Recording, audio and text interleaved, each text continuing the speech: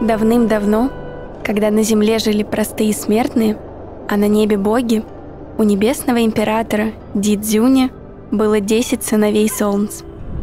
Верхом на священных птицах, трехлапых воронах, день за днем, один за другим, эти солнца появлялись на небе. Но однажды десять солнц решили сыграть с людьми злую шутку. Они вышли на небо все вместе. Страшная засуха началась на земле. Неведомо откуда появились шестеро чудовищ и стали мучить изнемогающих от жары людей. Небесный владыка Дидзюнь пожалел народ и послал на землю искусного лучника по имени Хоу-И и его жену Чан-Э. Дидзюнь повелел Хоу-И усмирить его разыгравшихся сыновей солнц и избавить людей от бедствий.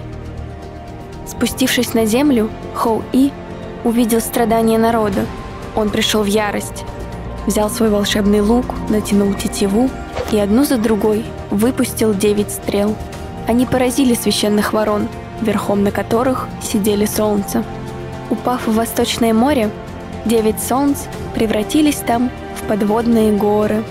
Так на небе осталось одно привычное людям солнце. Но стрелок Хоу-И продолжал битву. Он разделался со свирепым чудовищем Яюй, навечно усмирил зубастого Дзяочи, уничтожил девятиглавого Дзюина, зарубил хищную птицу Дафен, гигантского кабана Фэнси и змея Сюше. Всех шестерых чудовищ Хоу-И сварил и принес Дицюню. Но подношение не обрадовало небесного владыку. Ведь Хоу-И убил его девятерых сыновей. Разгневанный император запретил Хоу-И и его жене Чан-Э возвращаться в небесные чертоги. Живя на земле, Хоу-И встретил речную фею Лошуй. Прекрасная фея была печальна. Ее разгульный муж, речной дух Хэбо, навлек на семью множество бедствий. Испугавшись возмездия, хитрый речной дух – превратился в белого дракона. Он решил проследить, что будет дальше между Лошуй и Хоу-И. Но стрелок разгадал его замыслы и поразил Хэбо в левый глаз.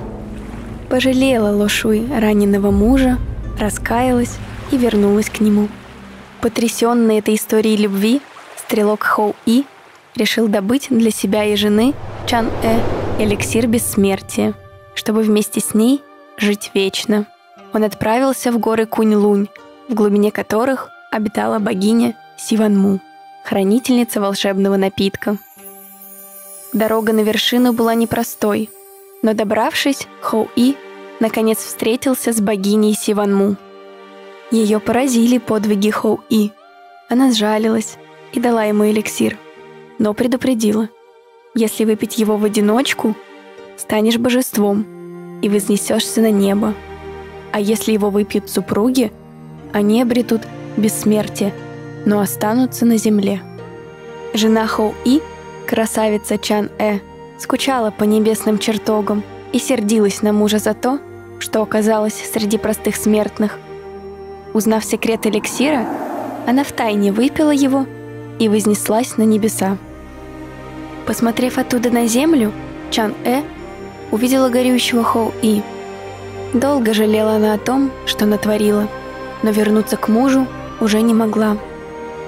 Появляться в небесном дворце ей было стыдно, и Чан-Э перебралась на Луну, чтобы в одиночестве жить во дворце великого холода. Меткий стрелок Хоу-И так и остался среди людей. Он научил их искусству стрельбы из лука. После его смерти верховный владыка Ди Цзюнь вспомнил о заслугах Хоу-И и присвоил ему титул Цзунбу, грозы всей нечистой силы Поднебесной. А люди по-прежнему благодарны Хоу-И. О его благородных подвигах они сложили легенды, которые живы и по сей день.